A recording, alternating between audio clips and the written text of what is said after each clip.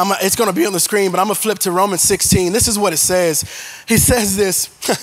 oh, man, it blows my mind. You can put it on the screen now. But he told them to greet Priscilla and Aquila.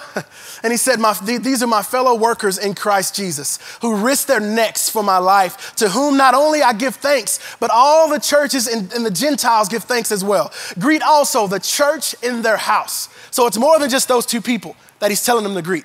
He's saying the church inside their house. And then he says, Greet my beloved Epaenetus. And then he goes on and says, Greet Mary and Andronicus and Junia and all these different people. There are over 30 names that are mentioned right here.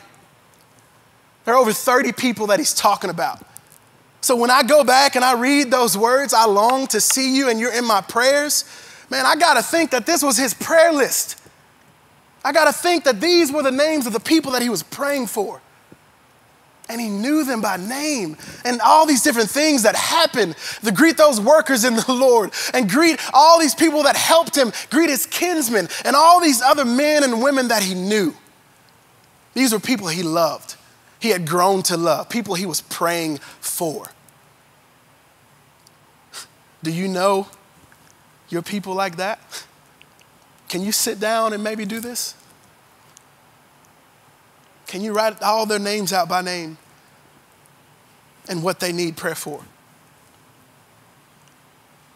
Church, I was convicted about that when I read those words because I didn't. I didn't. I didn't know them like that.